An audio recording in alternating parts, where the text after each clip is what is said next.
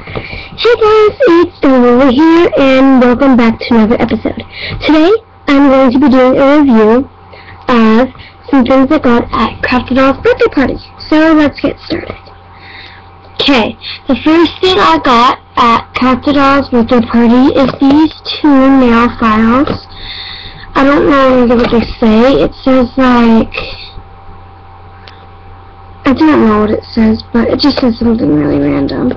And these are just two really cute nail files. So you see them close up. It's a cool design. And I think they're very cute.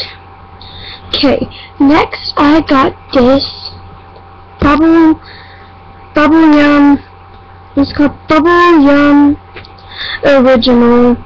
No, it's bubble yum chapstick and it's the original flavor. It is very nice. I tried it on, but I have so much bubblegum. I'm not kidding. I've got like, I have like two packs of bubblegum. I have bubblegum at school. I even have bubblegum chap chapstick. My username is double bubble. It's just crazy, guys. But yeah, that's the second thing I got.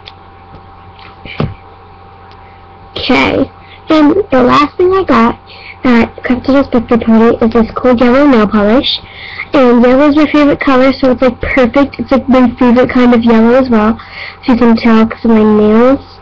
I painted my nails and they have like little oranges on them. Can't really see, I'm sorry. But they're very cool. No, I don't really care anymore.